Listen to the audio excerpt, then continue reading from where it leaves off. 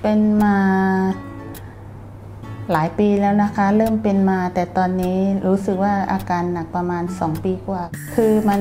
เสบตาเคืองตาค่ะขัดตา เป็นเกือบทุกวันนะคะ เหมือนตาแห้งๆ ตาแดงเป็นบางครั้งค่ะ ช่วงประมาณ 2 ปีก็ตามหาหมอที่แบบว่าต้องใช้ยอดอะค่ะ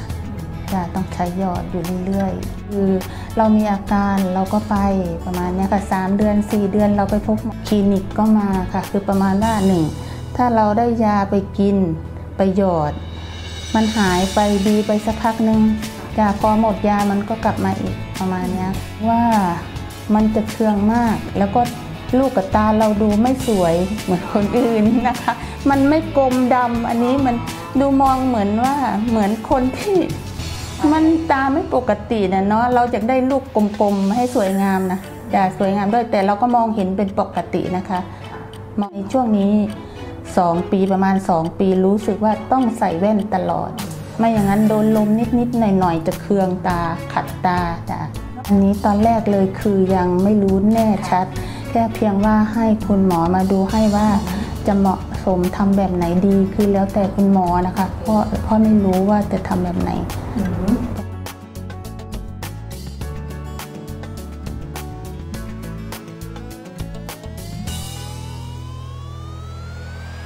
ไม่ตื่นเต้นมากนะคะ ไม่ตื่นเต้นค่ะ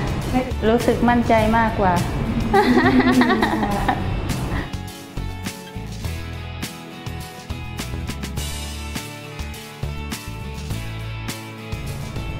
ก็ดีค่ะ ไม่ปวดค่ะค่ะก็สึกนิดนึงค่ะแล้วเจ็บไหมคะไม่เจ็บนะคะไม่เจ็บนะคะจ้าตอนนี้ก็รู้สึกธรรมดาจ้ารู้สึกทำงานไม่เจ็บแต่ว่าก็มองไม่ได้ชัดนะคะไม่เป็นค่ะค่ะค่ะจะมองไม่ชัดหมอใส่คอนแทคเลนส์ด้วยค่ะมันก็เลยไม่ชัดจ้า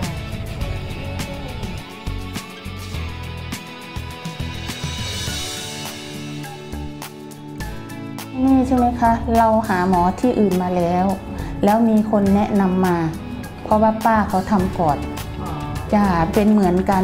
แล้วเราไปทำงานไปอะไรก็เห็นแกเลยถามว่าหาหมอที่ไหนป้าก็เลยบอกว่ามาที่นี่